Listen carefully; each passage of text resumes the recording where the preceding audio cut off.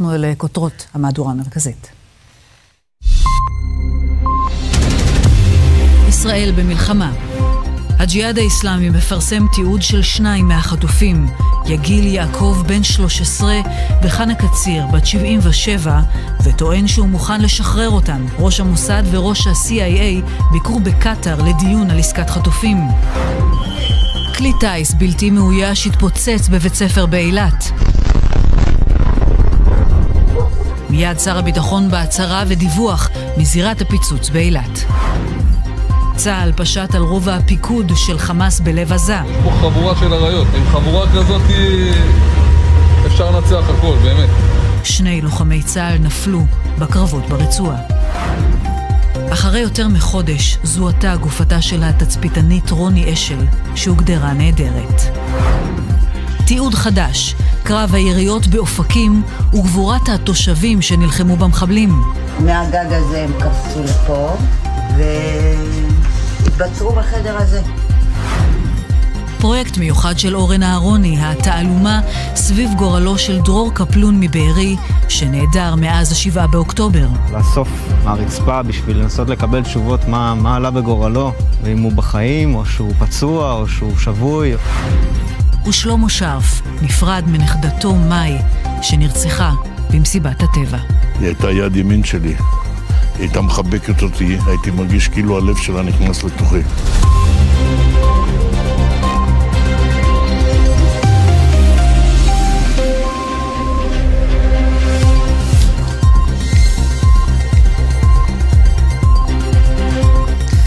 שלום לכם. לפני שעה קלה, הג'יהאד האיסלאמי משחרר עוד מידע, סרטון למעשה, של שני חטופים ישראלים נוספים.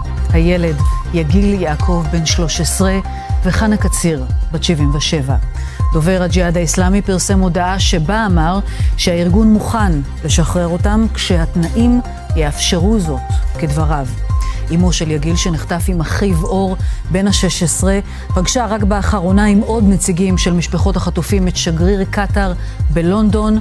פרסום אות החיים הזה בא במקביל לדיווחים על פגישה שהתקיימה מוקדם יותר היום בקטאר בין ראש המוסד וראש ה-CIA האמריקני עם הקטרים בנושא החטופים. וגם זה קרה היום, כלי טיס בלתי מאויש התפוצץ בבית ספר באילת, לא היו נפגעים.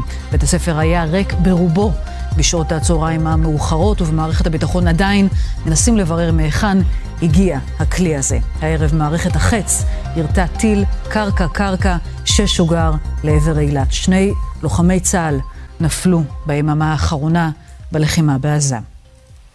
רב סמל ראשון במילואים אליהו בנימין אלמקייס, בן 29 מירושלים, לוחם הנדסה בחטיבה 551.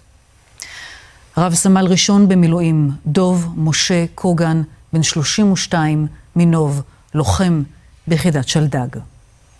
והערב התבשרה משפחתה של התצפיתנית הנהדרת, סמלת רוני אשל, בת 19 מצור יצחק, כי היא נפלה במתקפה על המוצב. ב-7 באוקטובר. אליאור לוי, אנחנו אליך ופותחים איתך ועם האפשרות הזאת לשחרור החטופים. כן, טלי, אז הג'יהאד האיסלאמי מודיע בצורה רשמית, אנחנו מוכנים לשחרור של שתי, שני חטופים, אישה וילד, כאשר הוא מוסר את ההודעה הזאת באמצעות הדובר שלו, הם גם מקרינים סרטון שבהם נראים שניהם, אנחנו כמובן לא נקרין את הסרטון, ניכר מהדברים שהם אומרים קודם כל שהסרטון הזה היה ערוך, דבר שני ששמו מילים בתוך הפה שלהם כדי שהם יגידו בדיוק את מה שהג'יהאד האיסלאמי רוצה. עכשיו, תראי, סגן מנהיג הארגון אחר כך בא ובעצם מפרט את העניין. הוא אומר, תראו, אנחנו מוכנים לשחרר אזרחים שיש בידינו. הוא לא מדבר על תמורה אגב, גם הג'יהאד האיסלאמי לפני, בדובר, לא מדברים על אותה תמורה, אבל הוא אומר שיש בידם גם חיילים חטופים ועליהם הם דורשים שחרור של אסירים ביטחוניים שנמצאים בבתי הכלא בישראל.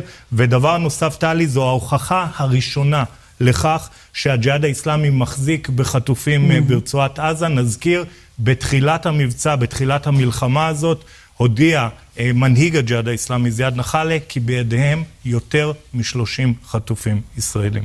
תודה בשלב הזה, ליאור. בוא נצרף אלינו בדיוק בעניין הזה אותך, רועי שרון פרשננו. איך נערכים בצה"ל לאפשרות כזאת של אה, עסקת, עסקת חטופים? אז צריך להפריד בין ההודעה ששמענו מהבית הלבן על כך שישראל תאפשר הפסקות אש הומניטריות, זה כבר קורה יומיים, שלושה, זה לא הפסקות אש, זה הפוגות mm-hmm. של ארבע שעות.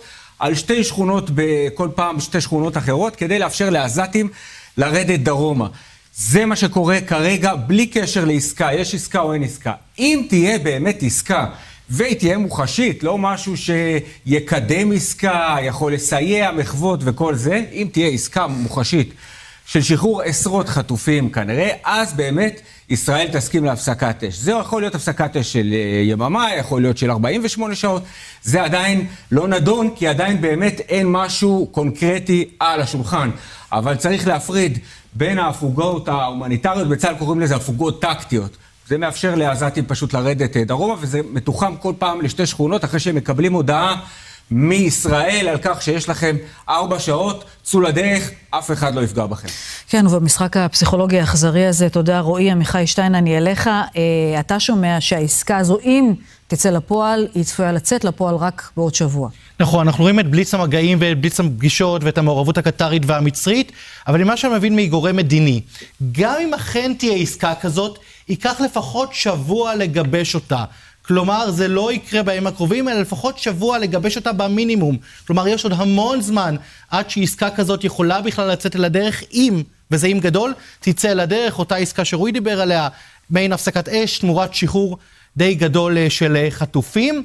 ומבחינה הזאת צריך לומר, בישראל אומרים, זה לא אמור להפריע למאמצים שלנו בשטח, גם אם תהיה הפסקת אש בעוד שבוע. כי הימים האלה של ימי הדיונים על העסקה הזאת, נותן לצה"ל להמשיך את הפעילות, להיות עמוק יותר בשטח, להמשיך בפעילות המבצעית, ולכן גם אם יצטרכו בעוד שבוע או בעוד שבועיים להגיע לאיזושהי הפסקת אש מסוימת של יום, יומיים, שלושה ימים, זה כנראה לא אמור לפגוע משמעותית, כי עכשיו יש זמן איכותי להתקדם בשטח מבחינה מבצעית, בזמן שהשיחות האלה נערכות. תודה, עמיחי רועי קייס. אני אליך עכשיו, תראה, דיברנו על הפגישה הזו המשולשת בקטאר, אבל נכון. הייתה פגישה לא פחות מעניינת נכון. במצרים בזמן הזה. נכון, טלי, תראי, אי אפשר להפריד בין מה שקורה בקטאר לבין מה שקורה במצרים, והיום, באמת ברקע המגעים לעסקה, מנהיג חמאס, אסמאעיל הנייה, מגיע לראשונה מאז תחילת המלחמה לקהיר, נפגש עם ראש המודיעין המצרי עבאס כאמל. זה קורה, כאמור, במקביל לפגישה המשולשת של ראש ה-CIA, ראש המוסד וראש ממשלת קטאר, סוגיית החטופים מן הסתם במוקד, ומחר שני הנתיבים האלה אולי יצטלבו יחדיו, כאשר אמיר קטאר, השייח' תמים, צפוי להגיע למצרים, להיפגש עם נשיא מצרים עבד אל פתאח א-סיסי, גם סוגיית הסיוע ההומניטרי במוקד, אבל מן הסתם גם סוגיית החטופים. תודה רבה, אה, רועי. בשלב הזה, בואו נעבור למה שקרה במהלך כל היממה הזו באילת, פיצוץ אדיר בעקבות אה, נפילת כלי טיס בלתי מאויש בבית ספר בעיר, ולפני זמן קצר, עירות של טיל בים האדום. נוב ראובנו, כתבנו, אתה נמצא הערב אה, באילת עם העדכונים. נוב. כן, אה, נכון, טלי, אה, יום סוער עובר על העיר הזו, שאמורה להיות המקום השקט, מקום המפלט. אלפי אה, מפונים אה, מעוטף אה, עזה ומשאר המקומות המפונים בישראל. כאמור, בשעות הצהריים המאוחרות כלי טיס לא מאויש מתפוצץ על גג של מבנה ציבורי של בית ספר כאן בעיר אילת. הוא גורם לנזק, אין שם נפגעים, אין שם פצועים, רק שבעה נפגעי חרדה שנדרשים לקבל טיפול, אבל זה גם מלמד אותנו שהיו במקום הזה אנשים בזמן הזה, ובאמת רק במזל לא נפגעו. הכלי הזה לא יורט, ועד לשעה זו, לא מעט שעות אחרי האירוע הזה, עדיין לא ידוע מהיכן הוא הגיע, וזה עדיין נמצא אה, בבדיקה.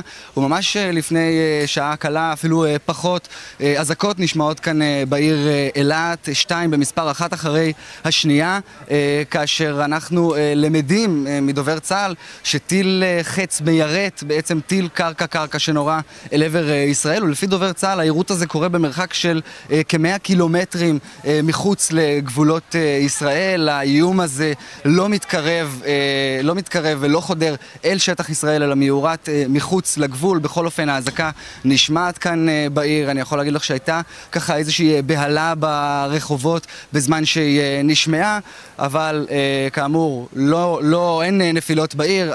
טיל חץ מיירט את הטיל קרקע, קרקע, הזה מחוץ לגבולות ישראל. תודה, נוב, בשלב הזה.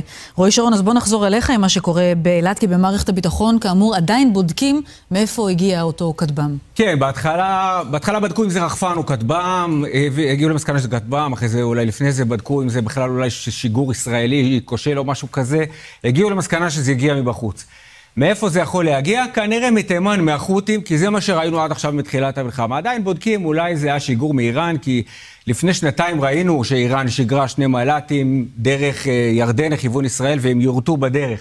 אז זה לא אופציה ש, שנשללה, אבל כרגע הכיוון שזה הגיע מהחות'ים, כמו שראינו מתחילת המלחמה, כמה וכמה פעמים, גם הטיל קרקע, פעם שנייה כבר שטיל חץ מיירט טיל קרקע, קרקע. זה צריך להיות מאוד מדויק כשזה פוגע באילת, אתה יודע, זה, זה אזור לא פשוט. זה המרחק שהם יודעים להגיע אליו כן. מתימן, אלפיים קילומטר. הבעיה היא בכטב"מים מתפוצצים, או בטילי שיעוט, שהם טסים מאוד נמוך ומאוד לאט, וזה מתחת לרדאר, ואין להם חתימה, כלומר, הם לא עושים הרבה רעש, mm. זה מנוע קטן. והסיפור שם זה לגלות אותם, זה מאוד קשה, השלב של הגילוי. אחרי שהם מגלים, יש את השלב של העירות, אבל קודם כל הגילוי הוא מאוד מסובך. ולמרות זה, עד עכשיו, יש את הספינה האמריקנית שנמצאת בים האדום, ו- וישראל גם העבירה לשם אה, ספינה של חיל הים, ויש מערכות גילוי גם של חיל האוויר, ועד עכשיו היו הצלחות בכל השיגורים שהגיעו מתימן. ועכשיו גם לא זוהה וגם לא הייתה התראה מראש, התפוצץ פתאום, עדיין, באמת, בצה"ל, כמו שאמרת, עוד לא יודעים, שמענו דובר צה"ל, הוא אומר, אנחנו עדיין לא יודעים להגיד במפורש מאיפה זה שוגר, למה לא הייתה התראה, ואת כל שאר הפרטים כרגע זה עדיין בתחקיר. תודה.